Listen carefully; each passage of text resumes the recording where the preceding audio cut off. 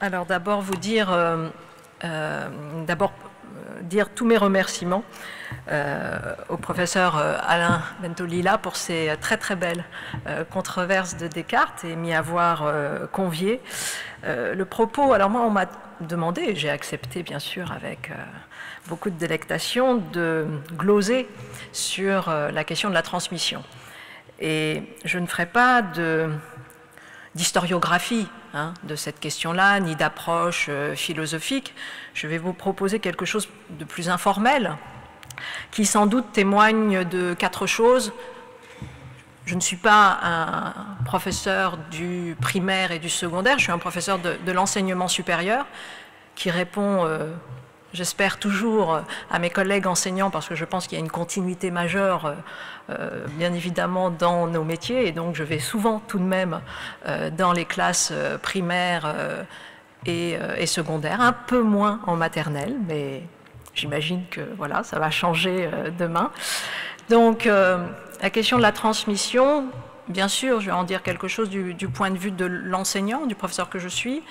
Euh, sans doute également du point de vue de la clinicienne que je suis, et il y avait déjà cette parole-là souvent qui a été posée ici, sans doute parce que ça, euh, voilà, il y aura quelque chose là-dessus, le parent que je suis et la parentalité qui est tout de même considérablement euh, important dans cette histoire-là.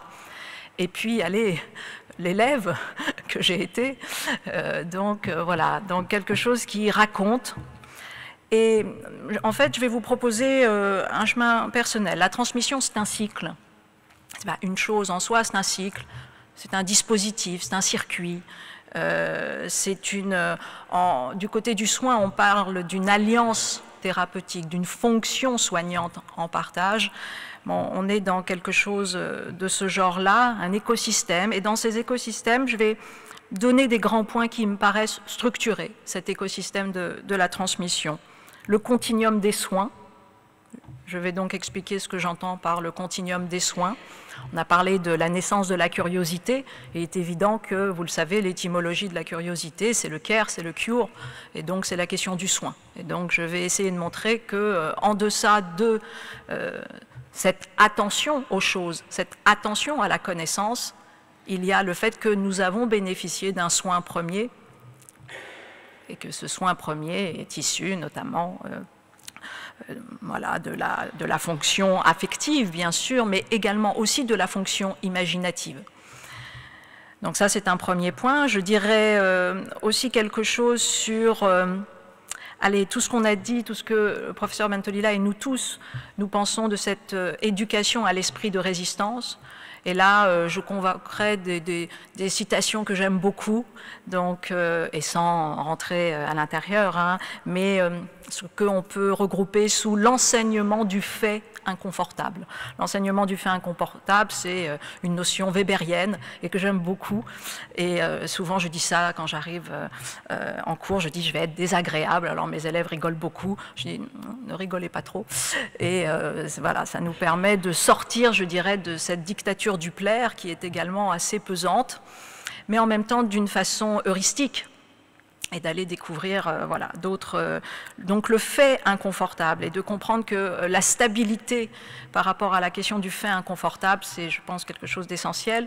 Vous avez appelé ça la phobie devant le temps de suspension. En, en, psychanalyse, en psychiatrie, on appelle ça, et c'est ce qui est véritablement une des signatures, je dirais, euh, de la psychose, c'est euh, l'intolérance à l'incertitude. Et donc l'intolérance au doute et l'intolérance à l'incertitude, c'est ce qui constitue de fait euh, un caractère psychotique ou des névroses très sévères, et ça produit de fait des passages à l'acte pour calmer cet anxiogène-là qui surgit. Donc je dirais quelque chose là-dessus. Je dirais, euh, je terminerai euh, sur l'enseignement des, neurosciences, sur euh, voilà la manière dont on pense, la fonction inhibitrice, la question de la dissonance cognitive, de, raconter ça aux élèves pour expliquer pourquoi. tout à l'heure, on parlait de, cette évidence qui n'est pas toujours une bonne amie. Alors, les philosophes le savent bien, hein, l'évidence et l'apparence de l'évidence, de fait, ce n'est pas la, même chose. Et puis, et puis dire aussi quelque chose sur le manquant et la transmission. et la question de l'autorité. Voilà, bon. Je ne sais pas si j'arriverai à dire tout ça, mais enfin, on va y aller. Et de toute façon, comme je l'ai dit, c'est assez informel, c'est pas un cours, donc je lance voilà, des, pistes de réflexion, sans doute trop superficielles, mais à charge de revanche pour euh, une prochaine, une prochaine invitation. Alors, le premier, euh, le premier point, c'est sur ce continuum des soins. Je, cite euh, souvent, bon, je, vais essentiellement parler de, de, Winnicott, mais j'aurais pu parler de Freud, j'aurais pu parler de Schreber avant Freud, et du cas Schreber, et, aujourd'hui plus proche de nous de, de, de qu'est-ce à dire Voilà, j'aurais pu parler euh, d'Yves Quéré qui, euh, je pense, dans euh, l'aventure de la main à la pâte, a parlé de fenêtres d'opportunité. Ces fenêtres d'opportunité sont généralement à saisir dans, l'enfance. Ces fenêtres de tir, hein, bon, bah, c'est la même chose, mais de façon inversée. Freud dira et euh, Schengold par la suite, qu'il peut se jouer là, dans ces fenêtres d'opportunité de l'enfance, précisément l'inverse, c'est-à-dire ce qu'il appelle des meurtres d'âme. Et des meurtres d'âme, c'est tout simple, c'est bien évidemment la maltraitance que peut subir un enfant, euh, mais plus globalement, c'est une relation euh, dysfonctionnante euh, voilà, les fondations du devenir psychique euh, d'un enfant sont directement liées aux interactions qualitatives avec les adultes qui l'entourent. C'est ainsi. Et donc, euh, le monde ne se soutient pas tout seul. Winnicott dit un bébé, ça n'existe pas, mais on pourrait même rajouter hein, et continuer, puisque un enfant tout seul, ça n'existe pas non plus, et même un être humain tout seul, ça n'existe pas non plus. Donc, cette affaire-là, elle, elle dure toute la vie. Nous produisons notre résilience, notre capacité euh, de sublimation, euh, tout simplement par euh, l'interaction riche que nous, avons avec les autres. Alors ça passe par la question du, soin chez Winnicott. Vous savez, chez Winnicott, il appelle ça la, préoccupation primordiale de la mère. Alors bien évidemment, moi je n'aime pas tellement, et c'est là où j'adore l'anachronisme, et, l'herméneutique, puisque ça nous permet de réinvestir les textes et de leur faire dire autre chose aussi.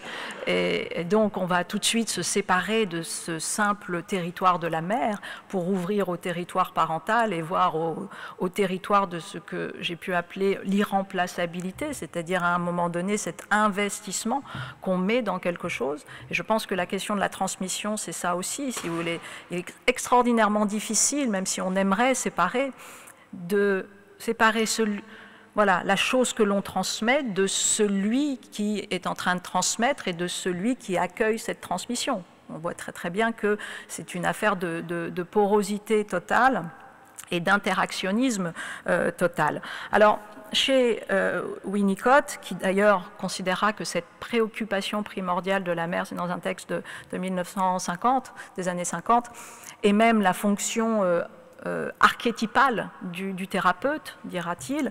Mais ce qui m'intéresse dans cette définition chez Winnicott, c'est ce qu'il dit. Alors il parle, vous le savez, du hodling, du handling. Alors on voit les gestes comme ça qui soutiennent. Mais il dit, voilà, le, soin que porte la mère, c'est véritablement une élaboration imaginative. Et ça me paraît le point fondamental, c'est-à-dire que nous soutenons euh, les êtres plus vulnérables que nous par notre élaboration imaginative et par le fait que nous allons leur transmettre à un moment donné, dit Winnicott, le fait de pouvoir espérer quelque chose de ce monde, le fait de pouvoir considérer que ce monde attend aussi mon action, etc. Et donc c'est pas, euh, on n'est pas dans une puissance magique, mais on est tout simplement dans le fait de faire naître euh, une confiance, tout simplement, une confiance en soi, une, une aptitude à se dire, tiens, je peux être capable de quelque chose et je vais pouvoir tout simplement transformer. Mais je trouve que cette, cette définition de, euh, de, la, de, la mère ou de l'adulte euh, ou du tiers résilient qui est en face comme euh, conception imaginative, comme élaboration imaginative est tout à fait précieux et surtout nous montre comment le soin s'ouvre et que le, soin, ce n'est pas nécessairement euh, voilà, des, gestes, mais ça peut passer par des mots, ça peut passer par un regard, ça peut passer parfois aussi par de l'absence. Il y a quantité, manière de faire du soin qui fait que voilà, on, dessine en fait un milieu de vie euh, propice, accueillant, réassurant, euh, soignant, pour que précisément il y ait une capacité de commencement chez l'enfant. Et donc cette, euh, euh, cette, capacité de commencement, on l'appelle en psychanalyse ou en philosophie individuation, subjectivation. Euh, moi j'ai aimé le terme d'irremplaçabilité.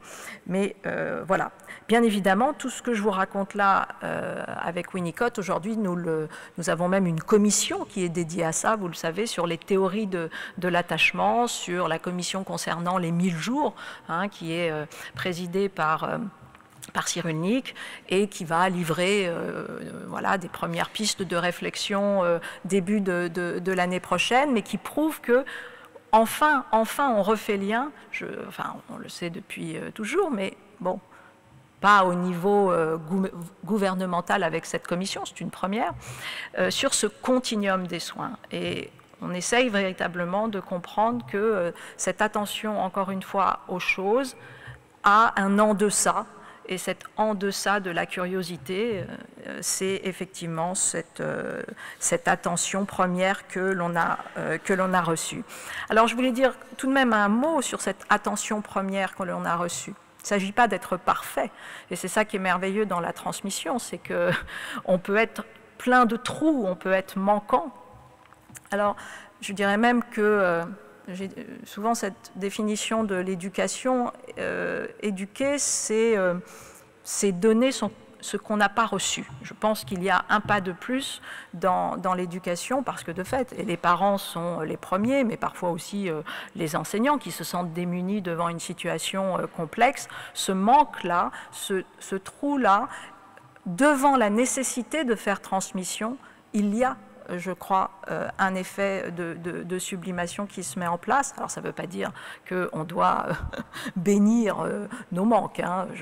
faisons nous-mêmes nos propres travaux pour, bien évidemment, combler ces manques, mais en même temps, ces manques voilà, on a la modestie qui, nous a, été rappelée tout à l'heure, tout simplement fait qu'on on ne peut pas non plus être absorbé par, euh, par ce manque. Et donc, nécessairement, on sait que éduquer, encore une fois, c'est toujours donner, euh, je pense, ce qu'on n'a pas reçu.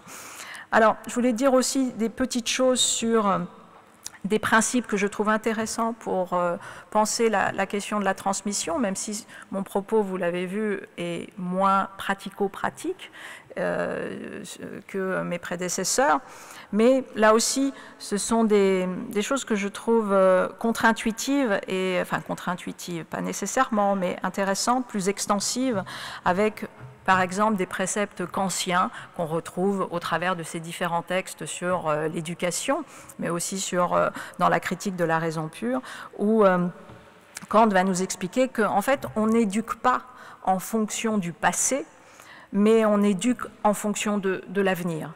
Et qu'on éduque en fonction de la vision la plus euh, prometteuse et optimale de l'homme, précisément euh, celle qui nous inspire, alors qu'elle n'est pas nécessairement euh, à l'instant effective. Et je, le cite, voici un principe de l'art de l'éducation, que particulièrement les hommes qui font des plans d'éducation devraient avoir sous les yeux.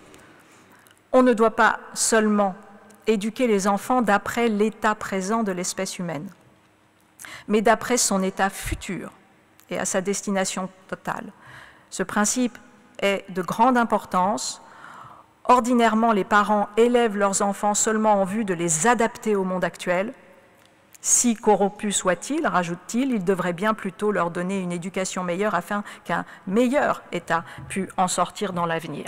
Alors, passer, je dirais, le, conseil d'éduquer en fonction de l'avenir, c'est déjà faire un pas dans ce temps de la suspension, puisque cet avenir, il est inconnu, il est certes espéré, mais on voit déjà que, voilà, au cœur même de la transmission, nous transmettons toujours des contenus stables mais qui bien évidemment sont des contenus beaucoup plus matriciels et critiques en tant que tels, et que cet enjeu de de la transmission de la réformation critique, il est absolument il est absolument essentiel. Ça, c'est un premier point qui est posé par Kant. Et puis, il dit, euh, et puis qui renvoie, je dirais, à quelque chose qui est plus euh, jungien. Jung, euh, Jung parlait d'une consolidation collective de la conscience humaine. Consolidation collective de la conscience humaine, c'est là aussi quelque chose qui est intéressant pour montrer comment nous travaillons tous à cette histoire. Et qu'est-ce que ça veut dire? Ça veut dire que les rapports que nous entretenons chacun, et notamment les parents avec leurs enfants, en fait, ne relèvent pas simplement de la sphère euh, privée. En fait, quand nous éduquons nos enfants, ce qui est logique, ça relève de la sphère privée au sens où, euh, voilà, ça relève de la sphère familiale, mais en fait, bien évidemment, quand nous éduquons notre enfant, nous éduquons les enfants et nous éduquons la société qui, euh, qui, surgit derrière. Il y a une dimension politique absolument majeure de cette euh, éducation euh, qui pourtant ne passe à l'instant T que par le viatique de l'enfant propre, le sien. Et Kant appelle véritablement au fait de dire, voilà, cette qualité de, l'espèce humaine, sa capacité évolutive éthique, ben, elle résulte. Elle résulte de quoi? De ces relations d'irremplaçabilité qui se joue entre les parents et les enfants et de ces relations d'irremplaçabilité qui se jouent entre euh, les enseignants et euh, bien évidemment euh, les, élèves. Alors, dire également un mot sur cet enseignement de l'esprit de résistance et du fait inconfortable. Et avant d'en arriver un instant à, Max Weber, vous aviez, voilà, c'est un, je dirais, un, vieil étalon de pensée que de poser ce que Socrate, l'enseignement socratique, hein, c'est-à-dire le désapprentissage. Je me souviendrai toujours de cette terrible comment dire, je ne vais pas la nommer, mais de, cette grande directrice d'une grande école de danse parisienne, qui, a notamment, qui est localisée sur une très belle place, et donc qui produit des étoiles régulièrement, euh, qui euh, m'avait fait cette réflexion sur euh, le type d'élève qu'elle appréciait, comment dire, dans son école de danse. Et le premier conseil qu'elle donnait aux parents, c'était surtout pas de cours avant. Et donc, sous-entendu, voilà, je veux un enfant vierge, une espèce de tabula rasa, parce que de toute façon, il n'y aura que des mauvais gestes et donc il faudra désapprendre. Bon, et elle, percevait ça comme une problématique.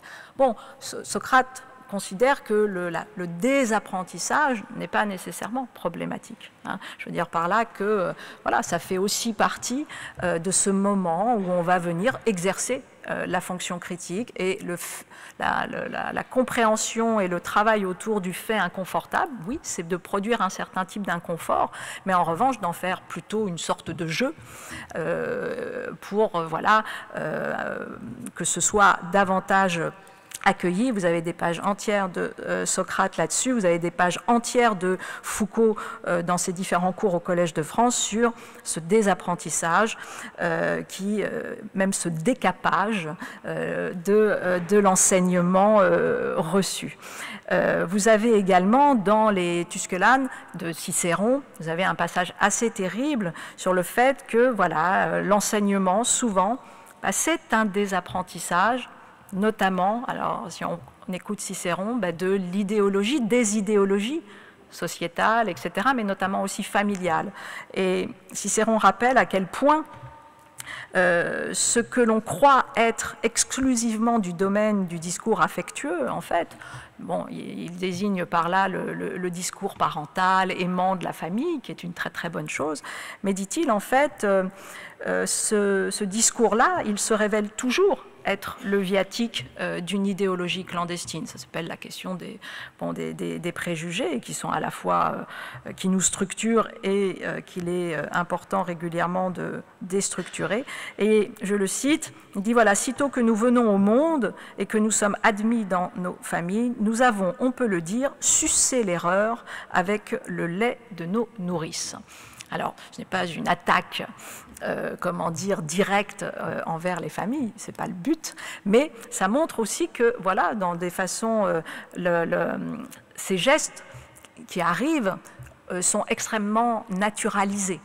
Euh, et donc d'autant plus difficile parfois à, venir, euh, comment dire, à créer de la distance par rapport euh, à cela, parce que bien évidemment, à partir du moment où ces gestes ont été naturalisés, il y a un sentiment identitaire assez fort et il y a un sentiment de déstabilisation identitaire très fort. Et donc là aussi, c'est à chaque fois une réflexion avec les élèves pour les amuser je dirais encore une fois, les amuser pas au sens, euh, euh, comment dire, euh, divertissant, mais au sens de, là aussi, de Winnicott lorsqu'il dit que le, jeu est véritablement une puissance, une puissance cognitive, et donc d'essayer de, de, les faire jouer à se déstabiliser est une chose intéressante.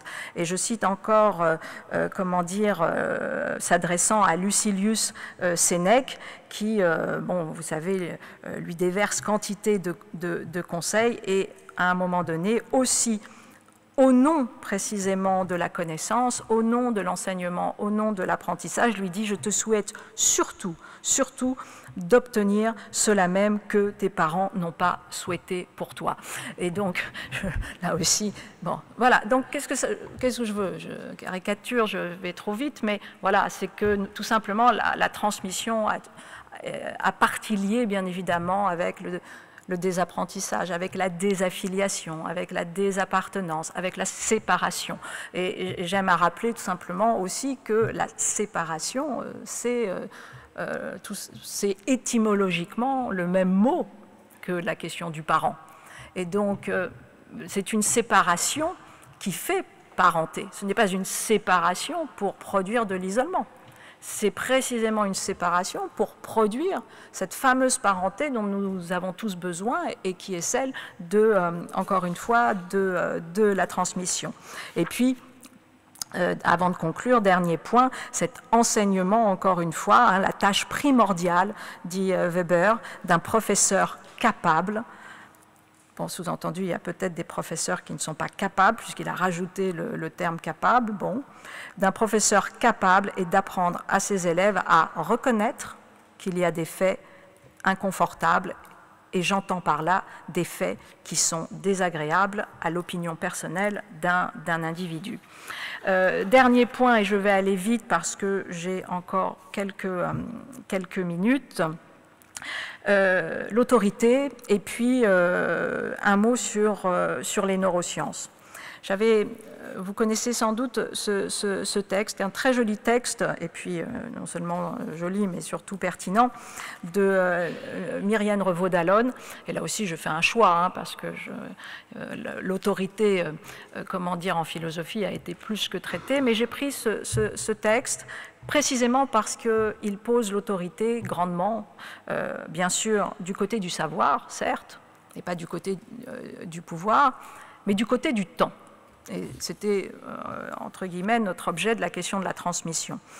Qu'est-ce que c'est cette, cette autorité? Ben, C'est tout simplement, dit-elle, c'est dans un, livre qui s'appelle, je crois, le, les pouvoirs du commencement, enfin, j'avoue que je ne sais plus le, enfin, qui est son texte dédié à l'autorité euh, dans, euh, dans l'enceinte démocratique.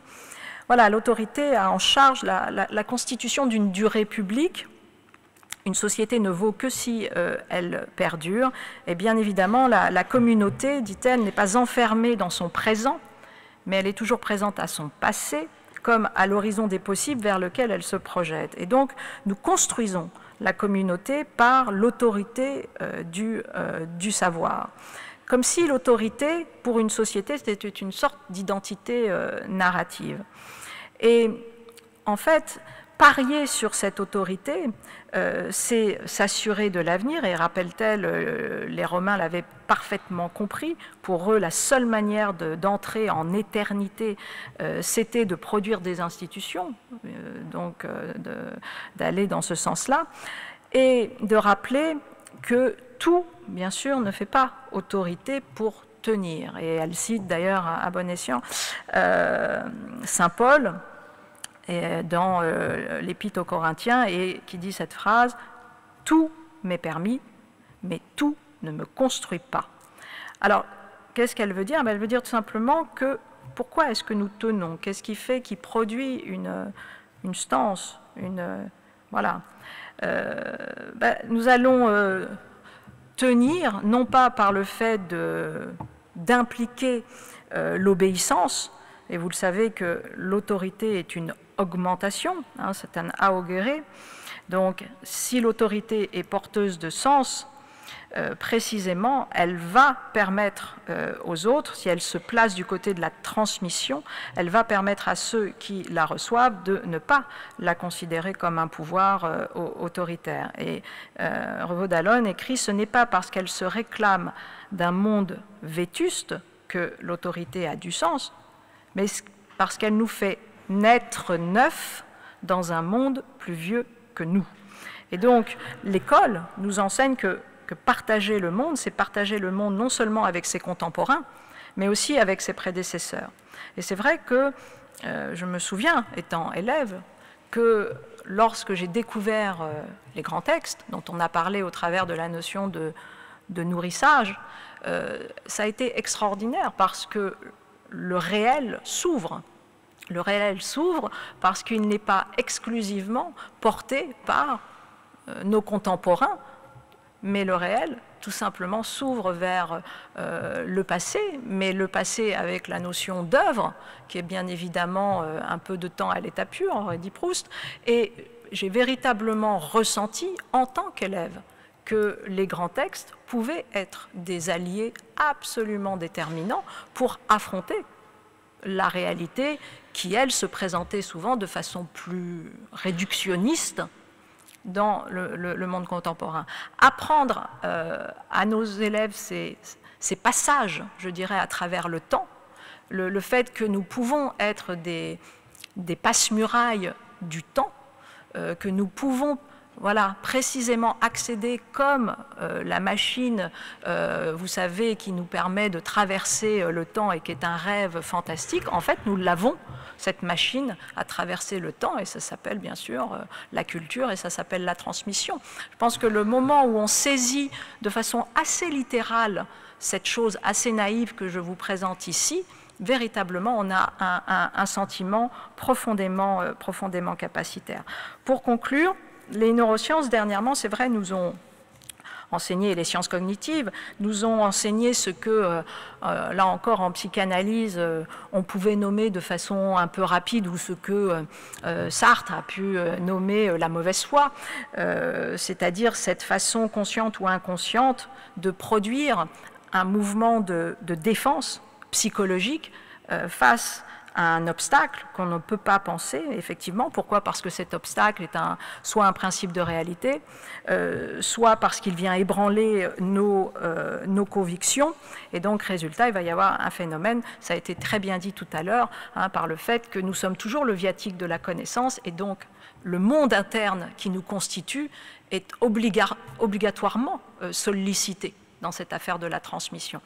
Et, et là, c'est intéressant de, voir que les notions euh, aujourd'hui sont un, voilà, type la fonction euh, inhibitrice qui est absolument importante. On l'a dit tout à l'heure sur euh, le fait d'aller à l'encontre de l'évidence, d'aller sur le contrefactuel, d'aller sur le contre-intuitif, de bien séparer, de se méfier, les philosophes connaissent très bien ça, de nos perceptions, etc. Donc de déconstruire régulièrement ce que nous pensons être une connaissance, et ça, on le fait avec une fonction inhibitrice.